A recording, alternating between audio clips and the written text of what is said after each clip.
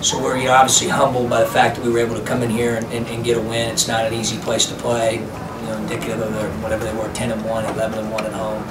So we feel fortunate, something for us to build on for sure down the stretch. This is a great time of year to be able to get any road win, uh, you know, wherever you're at in our league.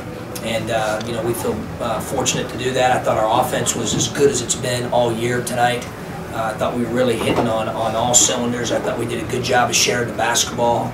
I thought we found open guys and we were able to, you know, able to get on the offensive glass a little bit as well, getting 21 offensive rebounds. I thought that gave us extra possessions in the game, and then we took care of the ball. Yeah, we know they have some, you know, good bigs, so we just felt like if we get stops and you know try to get them tired, and uh, try to just push it in transition, you know, hopefully we can crack. They're third in the country in rebound margin. They're great on the glass, as I alluded to earlier. You know, we, we've just made an emphasis the two times we played. Our guys have a lot of respect for them on the backboard. We know how good they are on the backboard. Uh, but I thought we went really hard tonight. I thought TJ Hall really gave us great minutes off the bench and rebounded the ball really well. He had nine rebounds, four offensive. You know, Walt had four offensive. Ivo Baltic had six offensive. So we had some guys really going to the glass hard. And anytime you can get extra possessions and try to win the possession battle, which the way you do that's by getting more offensive rebounds and by not turning the ball over.